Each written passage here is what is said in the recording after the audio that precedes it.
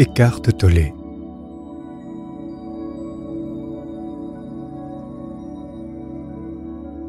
L'art du calme intérieur.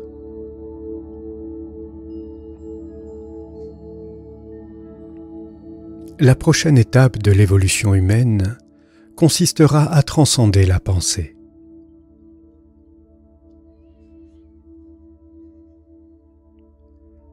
Chapitre 2 Au-delà du mental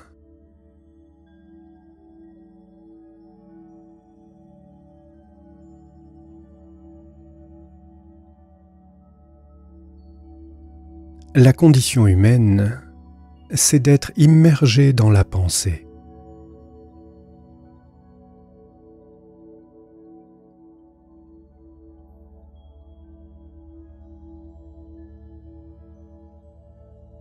La plupart des gens restent toute leur vie prisonniers des limites de leurs pensées. Ils ne dépassent jamais un sentiment de soi personnalisé, construit par le mental et conditionné par le passé.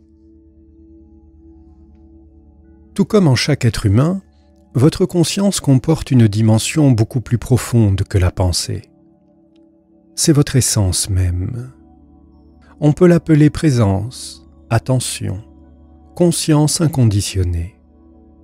Dans les enseignements anciens, c'est le Christ intérieur, votre nature de Bouddha. Découvrir cette dimension vous libère, ainsi que le monde, de la souffrance que vous vous infligez, de même qu'aux autres, lorsque le petit moi définit tout votre bagage et mène votre vie. L'amour, la joie, l'expansion créatrice et la paix intérieure durable ne peuvent pénétrer dans votre vie qu'à travers cette dimension inconditionnée de la conscience. Si vous reconnaissez, même par instant, que les pensées traversant votre esprit ne sont que des pensées, si vous observez vos schémas réactionnels à mesure qu'ils se produisent, alors cette dimension émerge déjà en vous c'est la conscience dans laquelle surviennent les pensées et les émotions. C'est l'espace intérieur intemporel où se déploie le contenu de votre vie.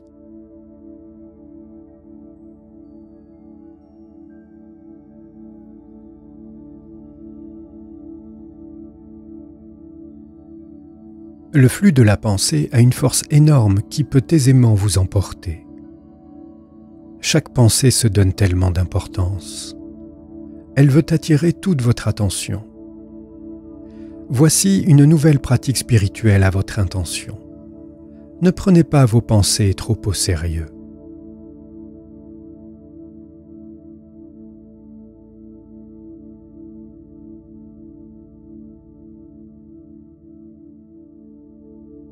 Comme il est facile de se prendre au piège de ses propres prisons conceptuelles. Le mental humain dans son désir de connaître, de comprendre et de contrôler, prend ses opinions et points de vue pour la vérité. Il dit ⁇ C'est ainsi que cela fonctionne ⁇ Vous devez dépasser la pensée pour vous apercevoir que, peu importe comment vous interprétez votre vie, celle d'un autre ou son comportement, et peu importe le jugement que vous portez sur une condition, ce n'est qu'un point de vue parmi maintes possibilités. Ce n'est qu'un amas de pensées. Mais la réalité est un ensemble unifié dans lequel tout est entrelacé, où rien n'existe en soi ni isolément. La pensée fait éclater la réalité. Elle la découpe en fragments conceptuels.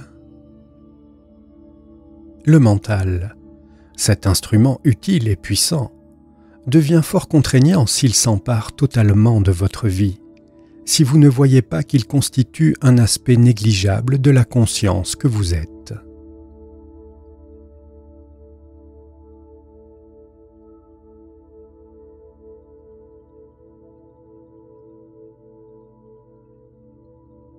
La sagesse n'est pas un produit de la pensée.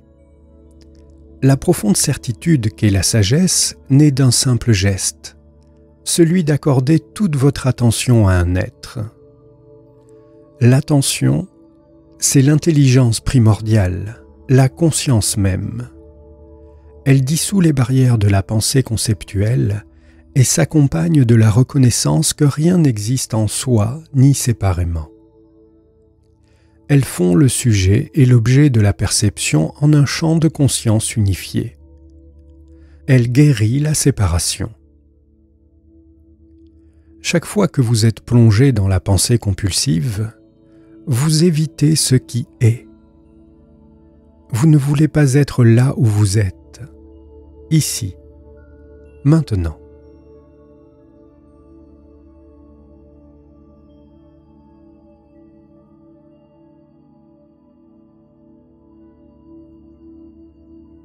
Les dogmes, qu'ils soient religieux, politiques, scientifiques, naissent de la croyance erronée selon laquelle la pensée peut englober la réalité ou la vérité.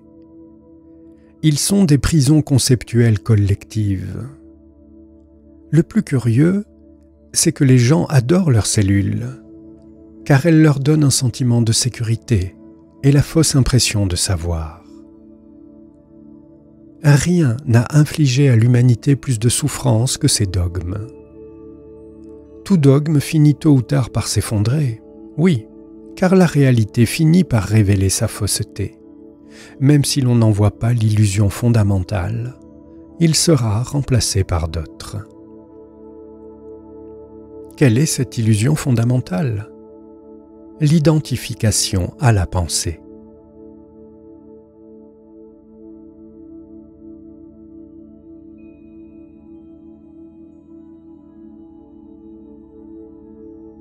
S'éveiller sur le plan spirituel, c'est s'éveiller du rêve de la pensée. Le domaine de la conscience est trop vaste pour être saisi par la pensée. Lorsque vous ne croyez plus tout ce que vous pensez, vous sortez de la pensée pour voir clairement que le penseur n'est pas votre être essentiel.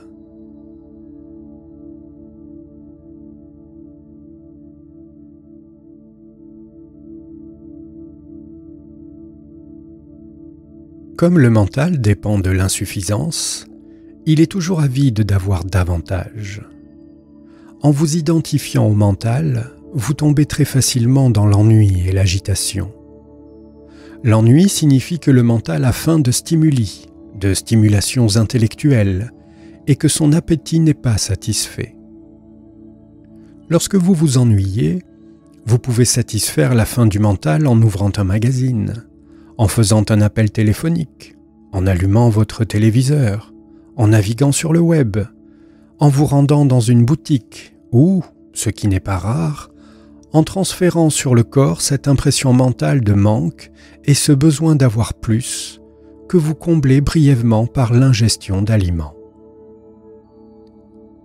Vous pouvez rester dans l'ennui et l'impatience, tout en observant ce sentiment d'ennui et d'impatience. Lorsque vous portez votre conscience sur ce sentiment, il s'entoure soudainement d'espace et de calme, pour ainsi dire. D'abord un peu, puis, à mesure que grandit ce sentiment d'espace intérieur, l'ennui diminue en importance et en intensité.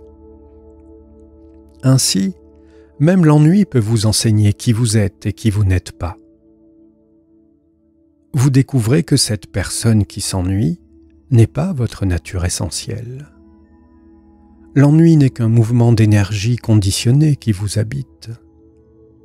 Vous n'êtes pas non plus cette personne en colère, triste ou craintive.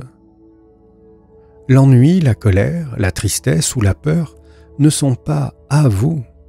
Ils n'ont rien de personnel. Ce sont des états d'esprit. Ils vont et viennent. Rien de ce qui va et vient n'est vous. Je m'ennuie. Qui sait cela? Je suis en colère, je suis triste, j'ai peur. Qui sait cela? Vous êtes le fait de connaître et non l'état connu.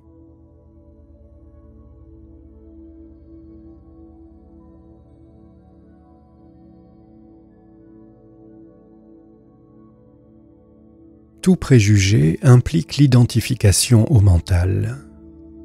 il signifie que vous ne voyez plus l'autre humain, mais seulement l'idée que vous en avez. Ramener à un concept la vitalité d'un autre humain constitue déjà une forme de violence. Si elle n'est pas enracinée dans la conscience, la pensée devient égoïste et dysfonctionnelle. L'ingéniosité dépourvue de sagesse est extrêmement dangereuse et destructrice. C'est l'état actuel de la majeure partie de l'humanité. L'amplification de la pensée par la science et la technologie, ni bonne ni mauvaise en soi, est elle aussi devenue destructrice, car, souvent, la pensée initiale n'est pas enracinée dans la conscience. La prochaine étape de l'évolution humaine consistera à transcender la pensée. C'est notre tâche urgente. Cela ne veut pas dire cesser de penser, mais tout simplement ne pas être identifié à la pensée, ni possédé par elle.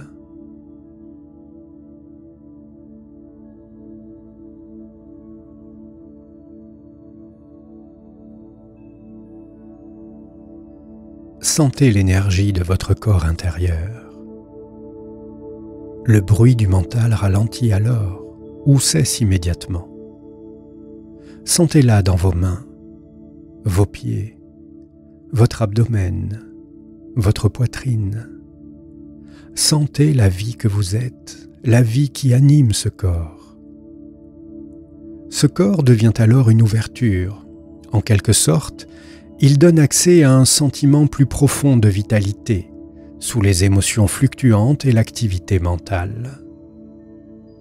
Il y a en vous une vitalité que vous pouvez sentir de tout votre être, et non uniquement dans la tête. Chaque cellule vit dans cette présence qui vous dispense de penser. Cet état n'exclut pas la pensée si elle est nécessaire à des fins pratiques.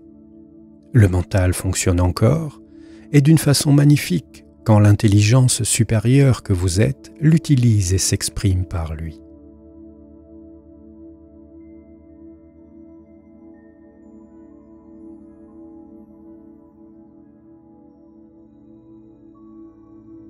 Vous ne l'avez peut-être pas remarqué, mais de brèves périodes de conscience sans pensée se produisent déjà d'une manière naturelle et spontanée dans votre vie en vous livrant à une activité manuelle, en traversant une pièce, en attendant au comptoir de la ligne aérienne, vous pouvez être si complètement présent que les parasites mentaux habituels se calment pour laisser place à une présence consciente.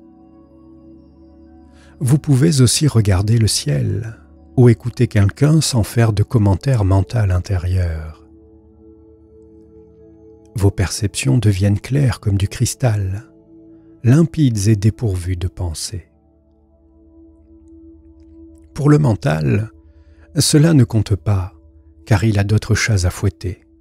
De plus, comme ce ne sont pas des moments mémorables, vous ne les avez pas remarqués. En réalité, c'est ce qui vous arrive de plus important. C'est le début du passage de la pensée à la présence consciente.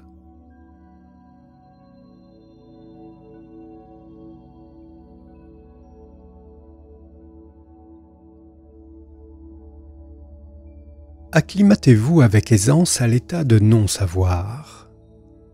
Il vous permet de dépasser le mental, qui essaie toujours de conclure et d'interpréter, craignant de ne pas savoir. Ainsi, Lorsque vous êtes à l'aise dans le non-savoir, vous dépassez déjà le mental. De cet état surgit alors une certitude plus profonde, non conceptuelle.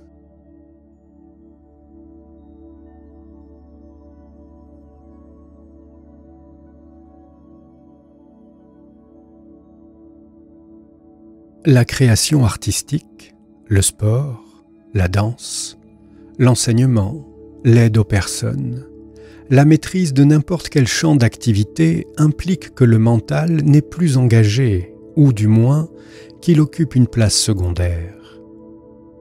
Il devient une force et une intelligence plus grandes que vous, et pourtant essentiellement unis à vous. Il n'y a plus de processus décisionnel, la bonne action s'exerce spontanément, sans que vous en soyez l'acteur. La maîtrise de la vie est le contraire du contrôle. Vous vous alignez sur la conscience supérieure qui agit, parle, effectue le travail.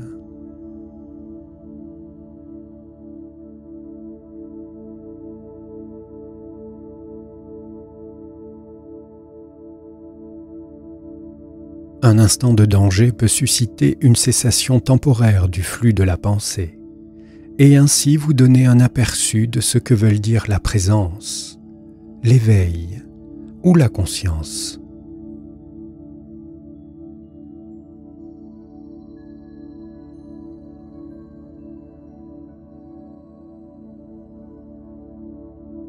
La vérité dépasse largement ce que le mental peut comprendre. Nulle pensée n'englobe la vérité.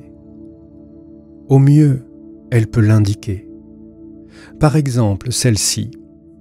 Toutes choses sont intrinsèquement une.